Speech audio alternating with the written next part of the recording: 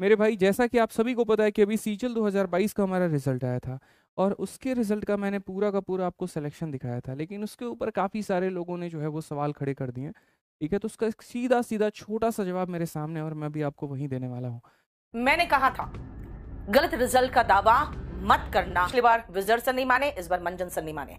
ये देखिए, इन्होंने जो रिज़ल्ट का दावा किया एक तो सबसे पहले रैंक टू रैंक सोलह। आप उन रिजल्ट्स का दावा कर रहे हैं जिन्होंने आपका नाम तक कहीं नहीं लिया उसके बाद जरा देखिए इस बार इनके टाइपिस्ट का नौकरी जाएगी। जरा देखिए रिपीटेशन कितने रिज़ल्ट रिपीट किए इन्होंने? मैं एक छोटी सी बात कहना चाहूँगा यहाँ पर कि जो सीजल 2022 का हमारा सिलेक्शन था इस सिलेक्शन में मैंने जो है आप लोगों को रिज़ल्ट दिखाया था। उसमें कुछ बच्चों का नाम जो है वो डबल बार हो गया था और वो छोटी सी गलती थी एक मिस्टेक था ठीक है? वो कोई बहुत बड़ा ब्लंडर नहीं था यहाँ पे। और इन्होंने लास्ट में जो रिज़ल्ट दिखाया है, कुल मिला के वो 132 दिखाया है। लेकिन नीचे लिखा है थाउजेंड्स ऑफ़ सिलेक्शन यानी आपका 132 आपके मैथ्स के अनुसार जो आप पढ़ाते हैं, उसके थाउजेंड्स के बराबर होता है। कमाल है। हाँ मैंने हज़ार सिलेक्शन कहे थे, उस हज़ार सिलेक्शन का मैं आपको फैक्ट अभी बताता हूँ कि हज़ार सिलेक्शन का रीज़न क्या था। बहुत ऐसे स्टूडेंट थे जिनका हम उस समय जो है वो डेटा प्रिपेयर नहीं कर पाए थे, जिनका डेटा हमारे सामने रह गया था। समय के अभाव के कारण क्योंकि और भी काफ़ी सारे काम में मैं बिज़ी रहता हूँ। एक तरफ़ मुझे अपने बुक्स पर फोकस करना है टीचिंग पर फोकस करना है और मोटिवेशंस पर भी और काफ़ी सारी चीज़ों पर काम करना होता है बच्चों से मिलना होता है गाइडेंस देना होता है इसी वजह से उन बातों पर फोकस नहीं हो पाया। बात करना पड़ेगा इस बार रंजन सर से। ए रंजन सर इधर आइए। ये हमेशा गेटअप में क्यों रहते हो आप? वैसे है ना मैम इस गेटअप से गाँव के भोले वाले बच्चे हमसे कनेक्ट होते हैं फिर इनको मूर्ख बनाना बेहद आसान होता है। अच्छा ये बताओ तो फिर वो जो वर्दी वाला गेटअप ज्वाइनिंग किया? नहीं मैम ज्वाइनिंग नहीं किया तो वर्दी कैसे पहन लेते हो क्या है ना मैम बच्चे के वर्दी के सपने बेचने के बाद कोर्स बेचना हमारे लिए बहुत आसान होता है। बच्चे के वर्दी के सपने बेचने के बाद कोर्स बेचना हमारे लिए बहुत आसान होता है। अच्छा एक बात बताओ ये जो तुम रिपीट रिपीट अपने रिज़ल्ट किए हो काहे रे? काहे किए मैडम वो है ना हमें ज़्यादा रिज़ल्ट दिखाना था। अच्छा ज़्यादा रिज़ल्ट दिखाना था लेकिन एक बात बताओ ये रिज़ल्ट भी तुम्हारे नहीं है। कहाँ से लाया रे ये सब नंबर हाँ? मैम वो क्या करें?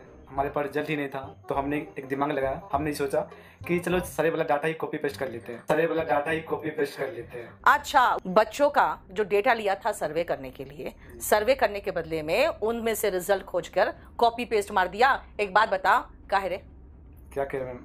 गंदा है पर धंधा ये। गंदा है पर धंधा ये। और ये क्या रे? ये क्या? ये रैंक टू कहाँ से तेरा रैंक टू इसमें तो तेरा नाम भी नहीं लिया। ए रैंक टू इधर आ। ये मैं हूँ ये मेरी रैंक टू है। आप कौन भैया? ये कौन? इसको तुमने अपना रिज़ल्ट दे दिया ये कह रहे इसने तुम्हें पढ़ाया है। ओ ये तो रील वाले भैया हैं। एक बार मैं कच्चा बादाम देख रहा था उसमें दो रील आ गई इनकी। तो तभी से तो जानता हूँ ये रील वाले भैया हैं। चौबीस घंटे में अड़तालीस घंटे पढ़ने वाला रील देखता है तू। है क्या ये? वो क्या है ना मैम? कच्चा बादाम देखते देखते स्क्रॉल करने पे मेरा रील आ जाता है। इससे बच्चे मुझे पहचानने लगे। तो जो मैंने हज़ार डेटा की बात की थी, उसमें से अभी कई सारे डेटा स्टिल भी अभी बाकी हैं, जो मैं धीरे धीरे वक्त आने पर निकालूँगा यहाँ पे। अभी हमारे पास कुछ और डेटा है, और ये उन बच्चों का सिलेक्शन का पूरा का पूरा फीडबैक है। यहाँ पर अब मैं आपको कुछ नहीं कहूँगा, आपको ये खुद लग जाएगा कि ये सर्वे फॉर्म का डेटा है या कहाँ का डेटा है या कैसे डेटा है, आप सामने देखिए। जिन बच्चों ने जो है सिलेक्शन लिया सीजल 2022 में, ये मेरे भाई उनका पूरा का पूरा फीडबैक है। और ये फीडबैक है rankers Gurukul Aditya sir, Vikramjit sir और पूरी की पूरी टीम के लिए। यहाँ पर जितने बच्चे भी जिन जिन पोस्ट पे सेलेक्ट हुए हैं ना, वो मेरे भाई पूरा दिल से उन्होंने सारी बातें लिखी हैं। मैंने अपने तरफ़ से कोई भी एक लाइन टाइप नहीं किया है और उनका पूरा लिखा हुआ फीडबैक मैंने आपके सामने रखा है। अब ये फीडबैक एक या दो नहीं है। आप ये फीडबैक देखेंगे तो यहाँ लाइन से लेकर मेरे भाई देखते चलो बहुत सारा फीडबैक है। ये पूरा का पूरा पीडीएफ हम आपको टेलीग्राम पर अपलोड कर देंगे। हमारे दोनों टेलीग्राम रैंकर्स गुरुकुल और मैथ्स बाई आदित्य रंजन पर ये जो है वो अपलोड हो जाएगा और इसका लिंक भी डिस्क्रिप्शन पे देंगे। आप इसी बच्चे का देखो, कितने दिल से इसने बातें लिखी हैं।